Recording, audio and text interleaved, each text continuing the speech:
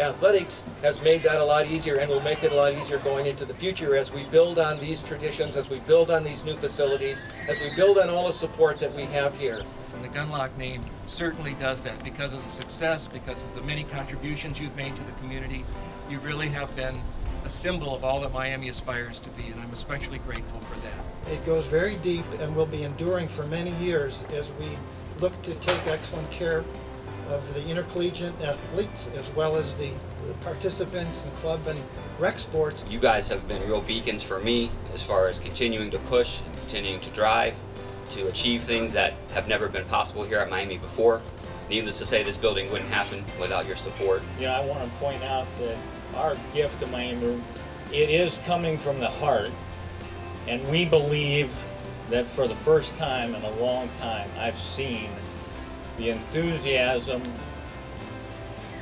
the reach for greatness.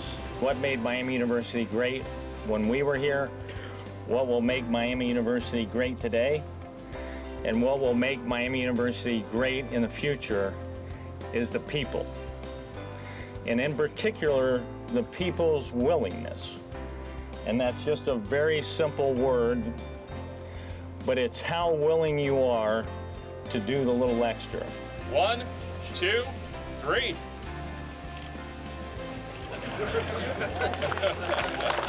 Hold those doubles if you would.